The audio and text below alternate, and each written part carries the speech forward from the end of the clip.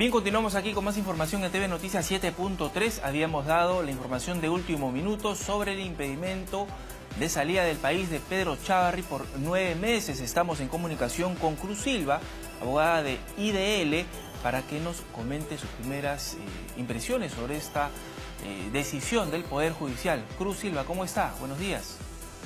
Muy buenos días, gracias por la llamada. En efecto, eh, la ciudadanía está que recibe con gran sorpresa lo que acaba de suceder, ¿no? Un impedimento de salida por nueve meses contra un fiscal supremo aún en ejercicio, el doctor Pedro Chávarri, y esto está relacionado directamente al alto nivel de indicios eh, respecto del encubrimiento presunto que estaría ejecutando el fiscal en sus funciones en relación a la investigación que viene llevando a cabo el fiscal José Domingo Pérez y que eh, encubre no solamente los delitos propios de encubrimiento, sino también de obstrucción a la justicia, y esto sería parte también de los indicios que lo indicarían al señor Chavarri como presunto integrante de esta red criminal que el fiscal Domingo Pérez está investigando. Es bastante delicado, bastante grave que a un fiscal supremo nuevamente en funciones le hayan señalado nueve meses de impedimento de salida del país. Esto no ha ocurrido en años anteriores en toda nuestra historia democrática. Ah, ¿No hay entonces antecedentes de un caso que a un fiscal supremo se le haya tomado tal decisión, tal medida? Exacto, exacto, ¿no? Y sobre todo que haya estado ah, ocupando el más alto cargo que es fiscal, la Fiscalía de la Nación, y que haya incluso en ese momento está sujeto aún por ejecutarse todavía por parte de la propia Junta de Fiscales Supremos la medida cautelar del Colegio de Abogados de Lima que al inhabilitarlo eh, provisionalmente su colegiatura tendría que dejar de ejercer las funciones. Entonces, la, el, la orden de impedimento de salida no hace más que corroborar que lamentablemente tenemos eh, un alto integrante del sistema de justicia relacionado con esta red criminal.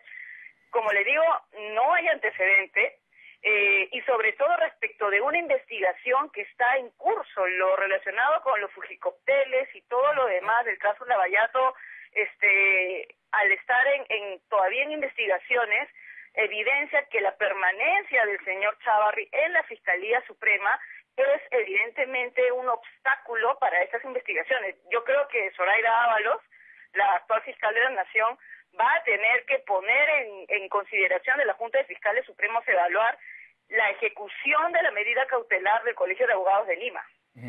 Ahora, ¿y esta decisión eh, sería eh, como tomada como argumento por los recientes casos del deslacrado de las oficinas o también por las investigaciones que tiene el Congreso de la República, que me parece que son seis, ¿no? Y que todavía ni siquiera se han abierto.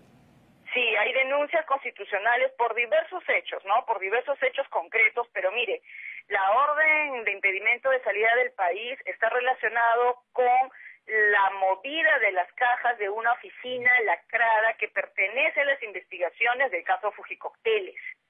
Entonces, esto lo involucra al señor Chavarri en el caso también de Fujicocteles, que no es raro, recordemos que ya existían indicios, por ejemplo, el chat de la botica y la consideración de algunos colaboradores eficaces eh, relacionado a su posible pertenencia a la red criminal de los famosos cuellos blancos, que es, otra investigación. Entonces, esta, esta, este posible delito de encubrimiento con la movida de las cajas de la oficina de su asesor eh, lo estaría involucrando con indicios de responsabilidad en estos otros dos grandes casos. No solamente es un, un presunto encubrimiento concreto, sino que ya se comienza a evaluar que estaría comprometido con estos otros casos, no Fujicocteles y el caso de los NM Audios. Entonces, estas cajas que se han extraído, que eh, según las informaciones eran tres, ¿Tienen documentos? ¿Hay ahí alguna información comprometedora de Fuerza Popular? Eso es lo que justamente no se puede determinar y eh, es justamente la gravedad del, del, de todo este problema, ¿no?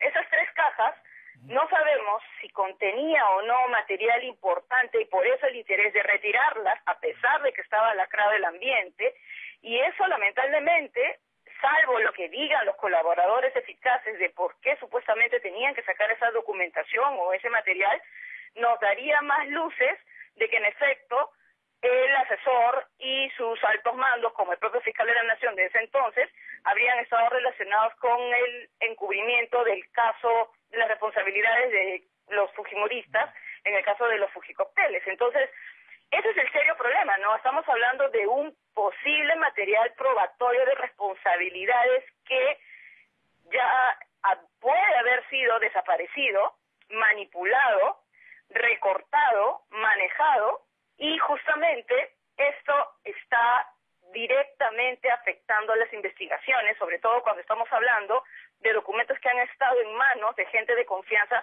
de la alta autoridad del sistema de justicia, que es el fiscal de la nación. Entonces, ese es el serio problema, esa es la gravedad. Ahora, Cruz, si el juzgado supremo de investigación preparatoria toma esta decisión de solicitar el impedimento de salida del país o dictar esta orden, eh, se supone que habría algún tipo de peligro, ¿no? De, así es. De, fugar. Así es, así es. Mira, eh, está configurándose, es increíble el paralelo, eh, un similar al caso de César y Nostroza Pariachi. Eh, cuando saltan los audios al señor Inostroza también se le dicta un impedimento de salida del país que recordemos es el que luego él vulnera.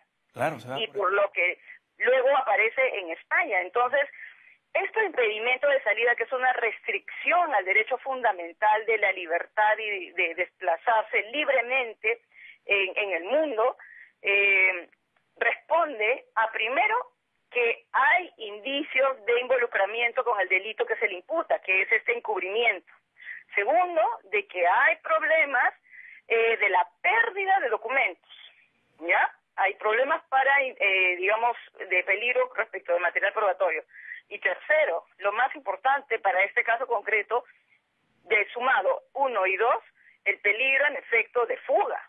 Ahora, eh, yo no sé, creo que es importante que el juez también evalúe posteriormente qué otras medidas pueden darse para poder resguardar el material probatorio. Recordemos, Chavarri en este momento es fiscal supremo y se mantiene en el cargo cerca a documentos, información personal que podría aportarse para la investigación y no obstante al estar en sus manos, en su poder, en su dominio, podría estar obstaculizando y pervirtiéndolo para que ya no pueda demostrar algunas presuntas responsabilidades. Por eso es tan importante que se retire del cargo. Fiscal Supremo, es peligroso que siga siendo fiscal supremo.